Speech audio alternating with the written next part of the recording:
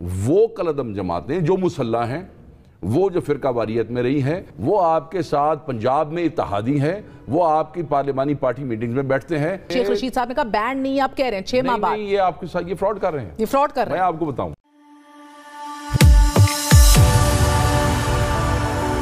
जय हिंद दोस्तों मोदी रेस में आपका स्वागत है। दोस्तों आज पाक मीडिया टीएलपी के प्रोटेस्ट के बारे में बात कर रहा है। टीएलपी फिर से सड़क पे निकल आई है। इस डिमांड के साथ कि फ्रांस के एम्बेसडर जो पाकिस्तान में है, उनको पाकिस्तानी सरकार निकाल दे। तो उसके बाद पाक मीडिया कह रहा है कि टीएलपी को तो पाकिस्तान ने बैन कर दिया था। तो टीएलपी कैसे फिर से निकल आई? तो उसके जवाब में पाकिस्तानी एक मंत्री मान रहा है कि पाकिस्तान में जिन जिन ग्रुपों को बैन किया है, वो अभी भी पाकिस्तान में बिना किसी परेशानी के कार्रवाई कर रहे हैं और पाकिस्तानी सरकार उनके खिलाफ कोई एक्शन नहीं ले रही। तो पाकिस्तान यहाँ पे मान रही है कि बैंड आउटफिट पाकिस्तान में ओपनली जो चाहे वो कर सकते हैं। दोस्तों, ये वीडियो बहुत ही मज़ेदार है तो इसे आप पूरा ज़रूर देखिएगा। तो चलिए और इंतज़ार न करके ये वीडियो देखते हैं। तहरीक लबैक पाकिस्तान का इशू है, जो अब दारुल हुकूमत को इनसर्कल कर रहे हैं। कल काबीना ने इसका फैसला करना है।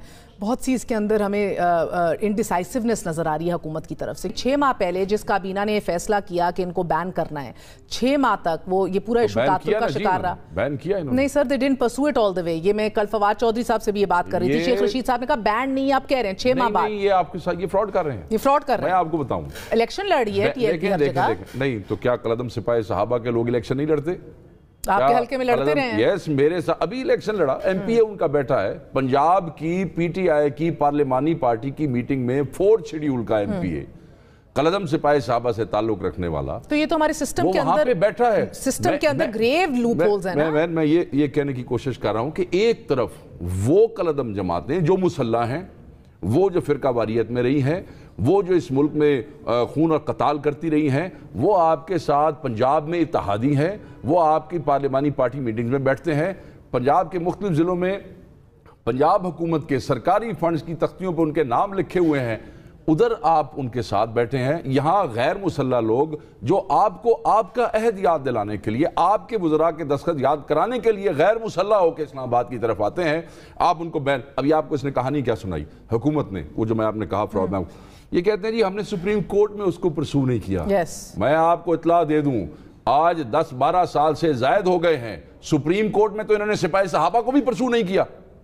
इनसे पूछें जो 12 साल पहले केस जमा कराया था बैंड आउटफिट का सुप्रीम कोर्ट में आज तक उसका पता किया कि सुप्रीम कोर्ट में उसके साथ क्या तो हुआ? आप मुझे ये बताइए कि तो ये झूठ क्या रियासत के कॉल ऑफ़ फेल में तजाद क्यों है? ये बताइए। देखें मैं ये समझता हूँ रियासत? रियासत जो है उधर जो रियासत में जो हुकूमत है हाँ। वो चंद ना नाअहलों के हाथ में आ गई है जो ये समझते थे कि बाकी इश्यूज़ की तरह ये इशू भी कोई और टेक केयर कर लेगा। और ये टाइमिंग ऐसी हो गई कि कोई और को नाराज़ करने के बाद आप उनसे टेक करने की तो नहीं कर सकते हैं। अब आपकी अपनी अहलियत का इम्तहान है। और ये जो इन्होंने ड्रामा किया कि हम काबीना में ले जाएँगे, क्या काबीना में वज़ीर एमएनए नहीं होते? आप असम्बली में तो इसलिए लेके नहीं जा रहे थे ये बिल।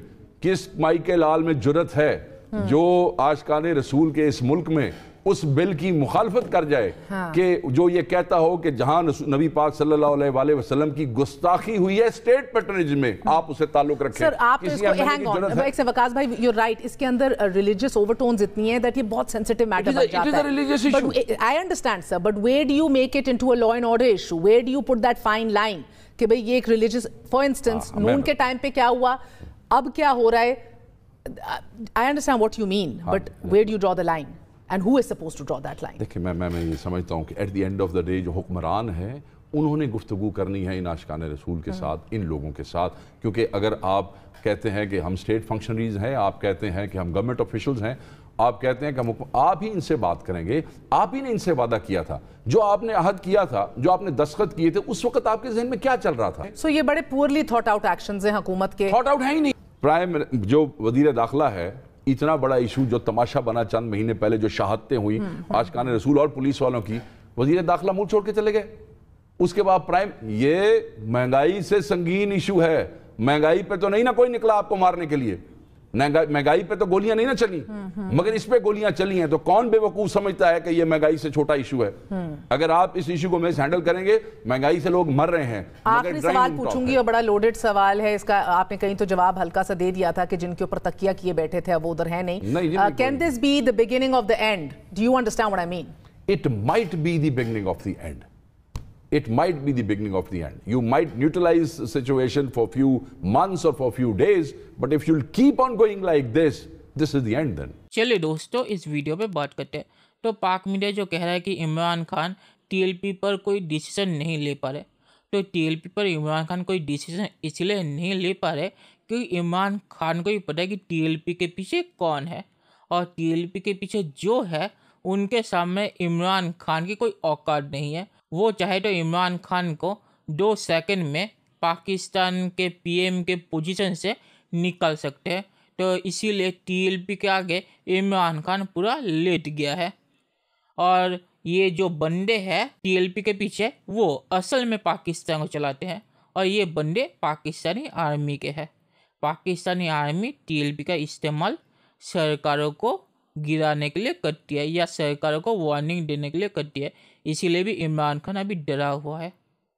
और पाकिस्तान ने जो कहा कि टीएलपी को इमरान सरकार ने बैन कर दिया था तो टीएलपी को बैन करने की औकात इमरान खान की नहीं है।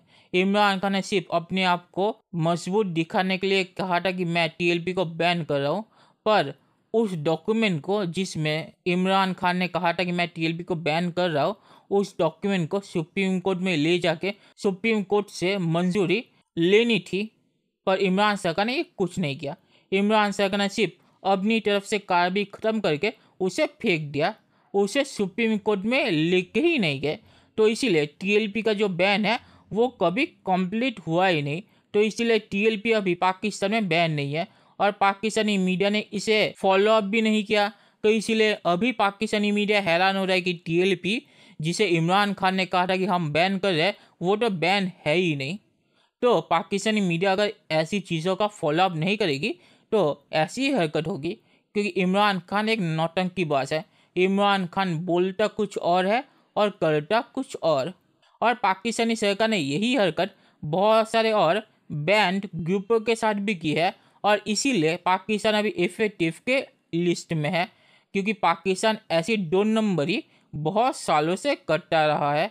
और इसीलिए दुनिया भी पाकिस्तान में भरोसा नहीं करती। जब वो कहते हैं कि बैंड आउटफिट पाकिस्तान में ओपनली कार्रवाई नहीं कर सकते, क्योंकि सबको पता है कि पाकिस्तान में कितने सारे बैंड आउटफिट ओपनली घूमते हैं और ओपनली अपना बिज़नेस चलाते हैं।